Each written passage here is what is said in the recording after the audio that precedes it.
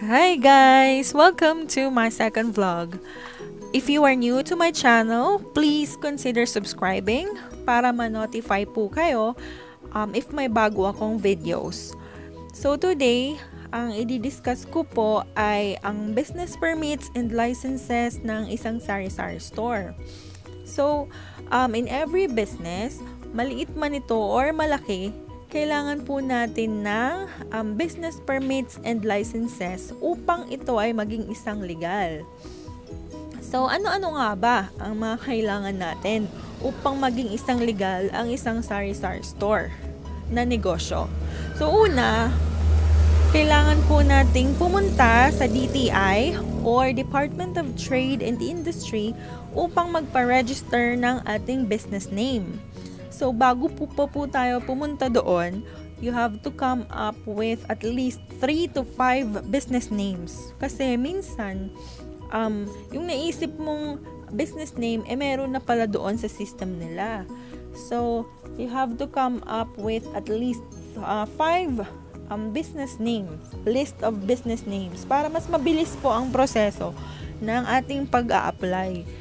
So, sa DTI po, meron po silang three categories. Ito po yung barangay, national, and um, city. So sa case ko po, since ang aking sari-sari store ay located sa aming barangay lamang, um, ang binayaran ko po dito ay 200 pesos for barangay na category.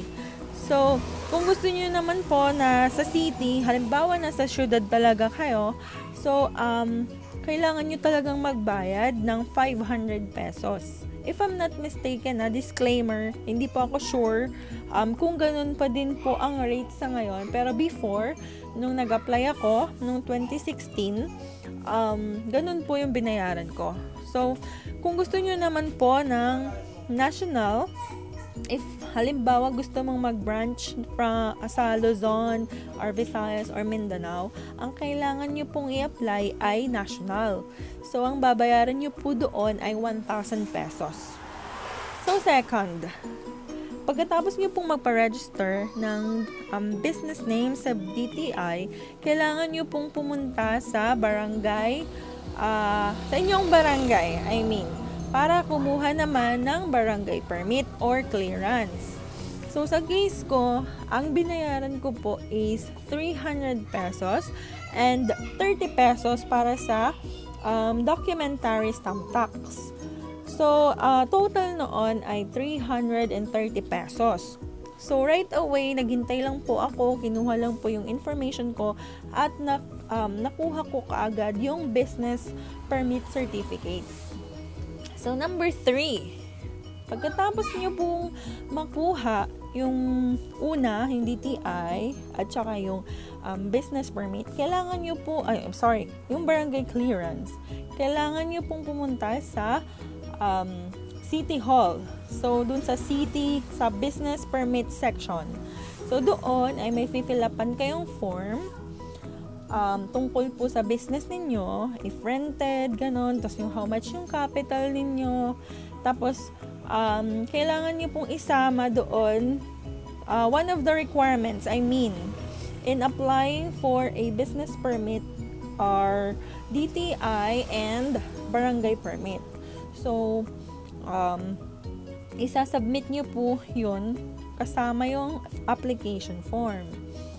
So, after mag, mag-submit ng form together with the barangay clearance and DTI photocopy, um, i-assess na po nila kung uh, magkano po ang babayaran ninyo. So, sa case ko po, ang binayaran ko ay um, 6,864. So, narito po, i-flash ko po sa screen ang assessment ko para makita po ninyo, para meron kayong idea kung ano po yung assessment na sinasabi ko.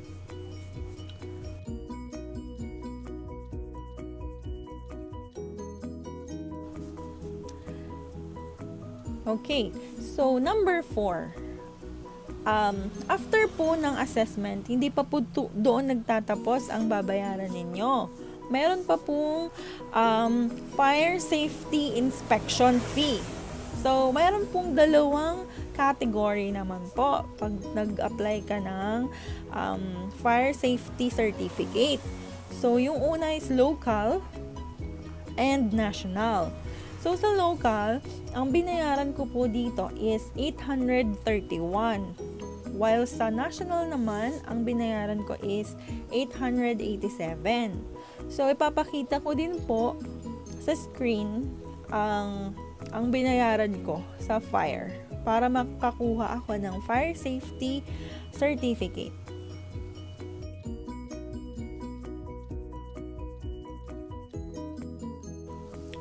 So, number 5. Yun na, um, kailangan mong i-comply ang iba pang requirements within 30 days. So, ano-ano ang mga ito? So, sanitary, um, sa sanitary certificate naman po, kailangan yung mag-submit ng stool or yung pupo or dumi ninyo ng owner at saka ng helper. So, um, meron po silang binibigay or binibili na parang plastic cups kung saan pwede doon nyo dapat ilalagay yung um, yung dumi or yung stool and sputum.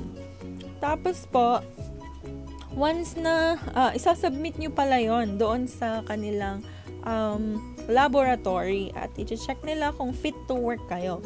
If fit to work kayo, bibigyan kayo ng health card um, which means that you are fit to um, to do business. So, ayun. Next is, um, pag na, pag nakuha na ninyo yung sanitary certificate, dediretso naman kayo sa city engineer's office. So, doon, wala na akong iba pang ginawa kundi finilapan ko lang yung form and then, um, pinirmahan na nila agad. Agad-agad. So, nakuha ko rin agad yung certificate ko sa City Engineer's Office.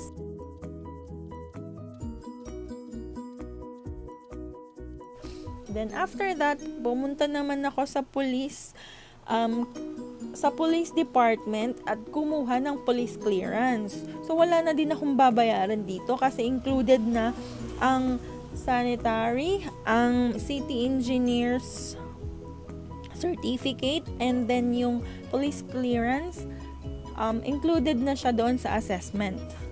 So, um, yun na nga, nag, ano ako, nag, fill up ako ng application form doon sa police clearance and um, i-check nila kung may background ka or criminal background, ganyan. If wala naman po, bibigyan ka po nila ng certificate.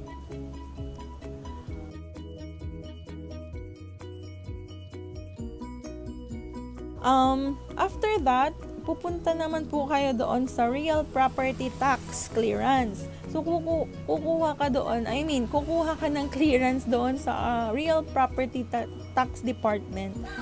So, kung meron kayong ari-arian or um, mga real properties, So, kailangan nyo pong bayaran to every year at kailangan pong updated ito upang mabigyan kayo ng clearance. So, wala din kayong babayaran nito dahil kasama na po ito doon sa assessment. So, sa binayaran ninyo. Then, lastly, after nyo pong makomply ang lahat ng sinabi ko kanina, maririlisan na po kayo ng business plate. So, ayun.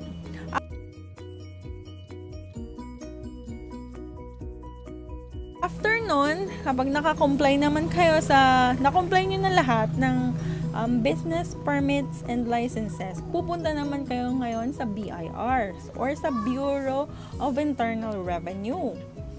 So, dito ay magpaparegister kayo para um, mataksan kayo kung ano yung mga um, categories na para sa inyo. Like, for example, if you are a non-VAT registered or VAT registered. So, um, yun po. Uh, medyo complicated lang sa BIR kasi medyo madaming proseso. Pero nevertheless, kung meron kang um, bookkeeper, mas madali po ito. So, sa case ko, um, ako lang po yung naglalakad pag nagre-renew ako sa City Hall. para kumuha ng business permit. Pero sa BIR, um, meron po akong bookkeeper. Siya po yung um, nag-update sa akin kung kailangan ko nang magbayad ng monthly, quarterly, and annually income tax. So, ayun lamang po. If meron po kayong tanong, just comment down below. At sana nakatulong po itong short video ko um, sa inyo. At, um, yun na nga po. Bye! See you again to my next vlog. Bye!